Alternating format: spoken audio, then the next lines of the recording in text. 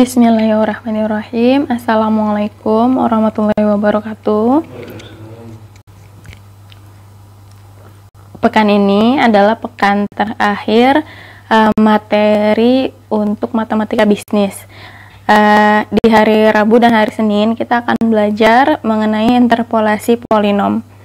Ada dua metode khusus yang akan kita pelajari, yaitu metode Newton dan Lagrange. Nah, apa itu interpolasi polinom? Uh, interpolasi polinom itu uh, adalah uh, pendekatan untuk mengestimasi nilai-nilai yang uh, berada di antara titik-titik uh, yang kita miliki. Uh, misal kita punya data penjualan produk A dari tahun 2010 sampai 2020, lalu kita mau estimate uh, tanpa lihat data aslinya, kita mau estimate eh tahun 2015 tuh berapa ya penjualan produk A ya? Nah, itu bisa ya. Uh, tapi kalau kita mau tebak, eh kalau misalnya tahun 2030 tuh berapa ya penjualan produk A?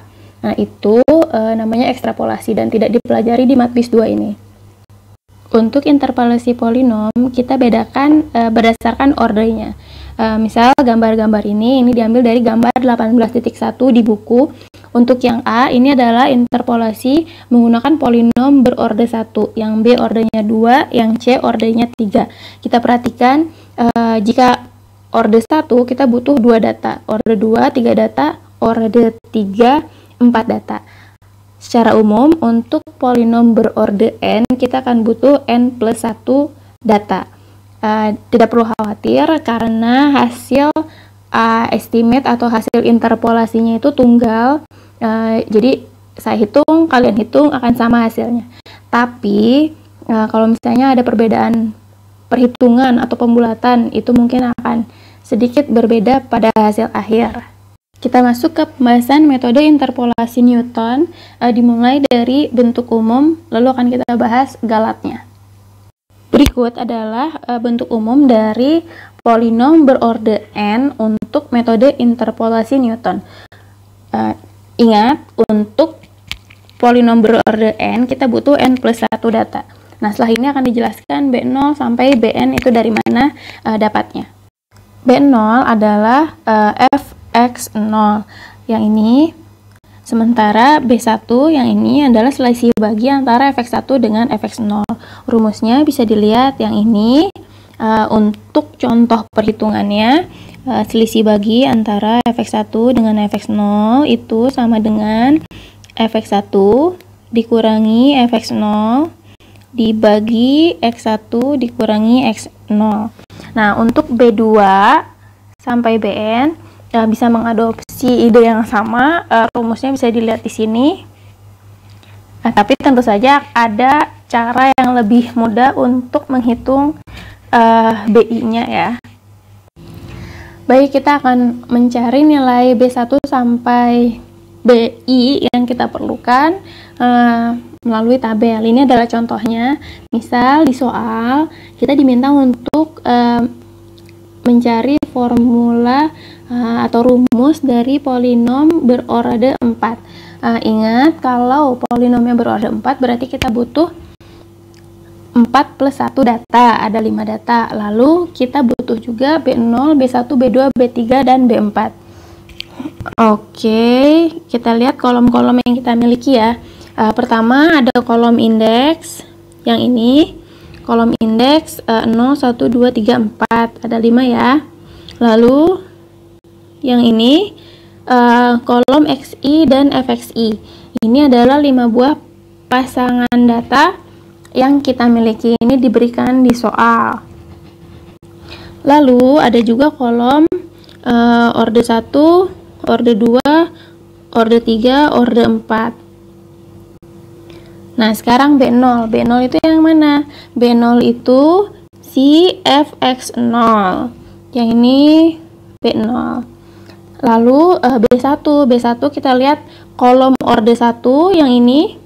Lalu uh, baris pertamanya adalah B1-nya. Orde 2 baris pertamanya dia adalah B2. Orde 3 baris pertamanya dia adalah B3 dan B4-nya ini. Untuk nilai B0 kita sudah tahu ya, B0 itu yang ini fx0. Sementara untuk nilai BI lainnya kita cek misal untuk B1. B1 tuh yang ini kita cek tanda panah merah ini yang di sebelah kirinya, ini dan ini.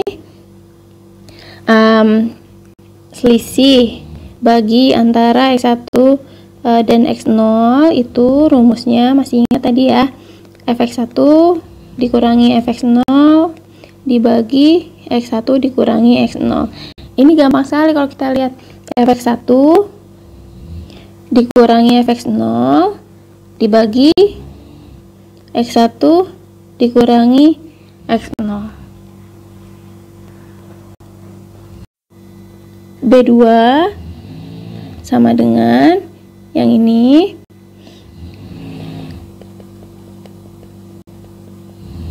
Sama dengan uh, ini dikurangi ini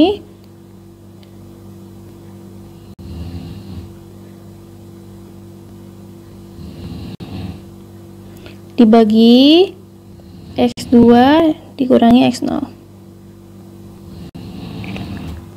gimana? mudah?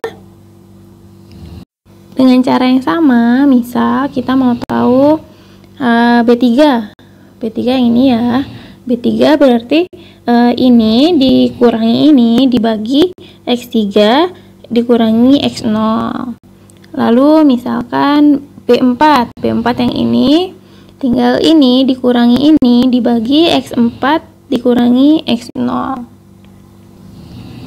gimana? Super simple ya kalau menggunakan tabel. Selanjutnya galat untuk metode Newton.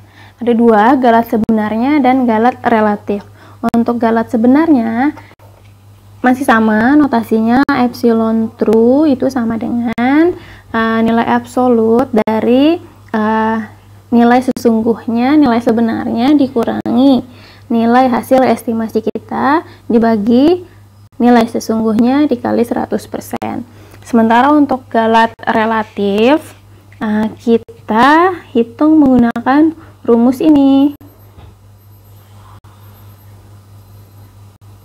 Untuk contoh soal dari metode Newton, eh, gunakan interpolasi polinom Newton order 2 untuk menghampiri log 10 bila diketahui eh, nilai-nilai eh, dari log 8, log 9, dan log 11.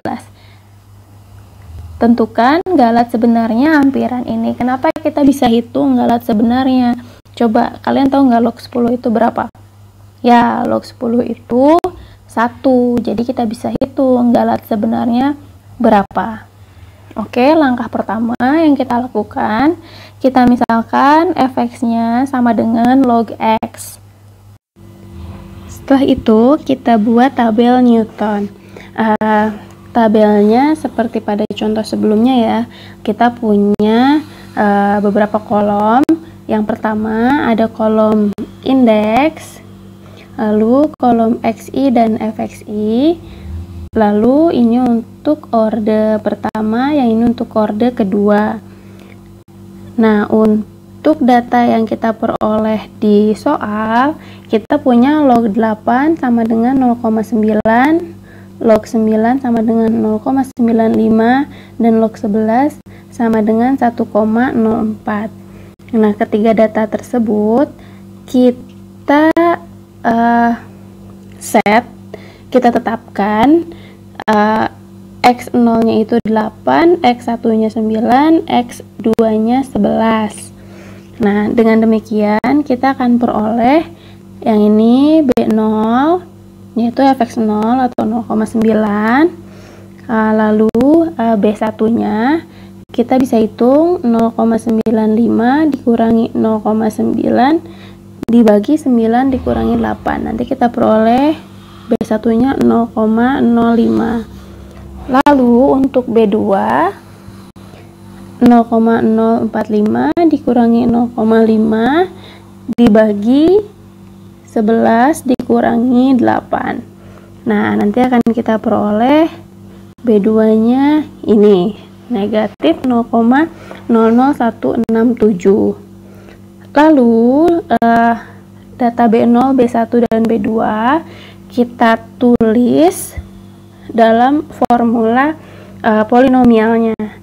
Nanti kita kita peroleh F2X tinggal kita tulis uh, B0 ditambah B1 dikali X min X0 ditambah B2 dikali X min X0 dikali X min X1 dan akan kita peroleh hasilnya seperti ini